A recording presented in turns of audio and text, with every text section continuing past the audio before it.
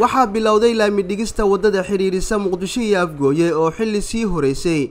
Ay bilaabatay dib u dhiskeeda kadib in muddo ah oo ay hakad ku jirtay. Waddadan ayaa muhiim u ah socodka dadka iyo gaadiidka isaga kala goosha.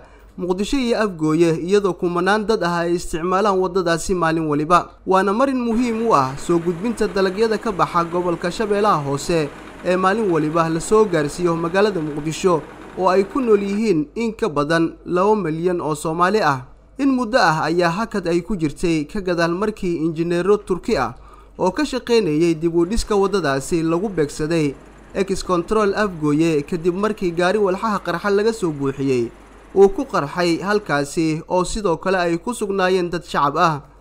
Ciidamo ka socda dalka turkiga ayaa ka qayb qaadanaya sugista amniga dhismaha waddada si looga taxadaro wax kasta oo wax u dhimi kara habsami u socodka shaqada dib u dhiska waddadaasi. Shaqaalaha soomaalida ee ku howlan dib u dhiska waddadaasi ayaa qaba cabsi xoogan iyagoo dantu ay biday in ay wejiyadooda soo xirtaan si aysan u noqonin bartilmaameed.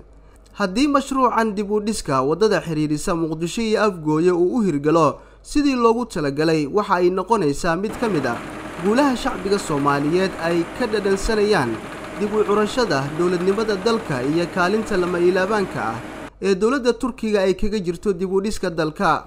Soomaaliya ayaa ka soo kabsanaysa burbur lixaad leh oo ka dhashay qaranjabkii iyo dagaaladii sokeeye ee ka dhacay dalka. Zakariya axmed muuse t v-ga shabeelle muqdisho